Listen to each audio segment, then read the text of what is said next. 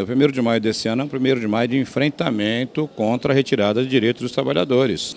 Né? E que nós temos que nos organizar para defender nosso emprego, nosso salário e condição de vida no momento que o Brasil tem um Congresso Nacional, fundamentalmente uma Câmara dos Deputados, porque nós não tivemos a votação no Senado ainda, absolutamente hegemonizada pelos empresários e que aponta com a maior retirada de direito da história da classe trabalhadora, que nem mesmo na época da ditadura militar uma atrocidade desse tamanho foi cometida. O Brasil inteiro vai estar se mobilizando, cada estado tem uma forma de organizar, mas nós vamos estar centrados em cima do, dos pontos específicos da conjuntura. É, enfim, é um, um primeiro de maio que vai acontecer cada estado se organizando de uma forma.